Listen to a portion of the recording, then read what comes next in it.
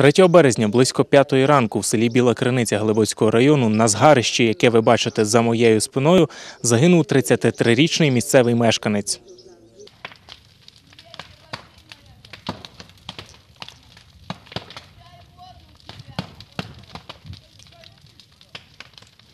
момент прибуття рятувальників е, вогнем було охоплено вся будівля.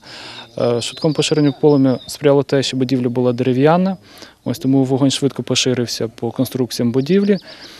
Рятувальники е, ліквідували пожежу. Під час ліквідації пожежі в будинку було знайдено тіло чоловіка, 33-річного чоловіка. За попередніми висновками до пожежі могло призвести небрежне поводження з вогнем. Про пожежу рятувальників повідомили сусіди, які до приїзду вогнеборців намагалися самотужки погасити вогонь. И сюда прибежал, тут было пару человек, вот этот что меня позвал.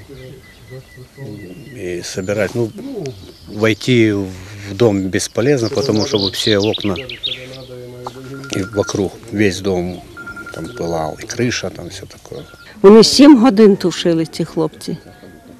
Уявляєте собі, сім годин вони оце тут борсились біля цього, не могли оці стінки всі повалити. Все, воно, ми їм казали, давайте вже все розваліть, тому що ви поїдете, а ми зараз будемо горіти, зараз до нас перейде.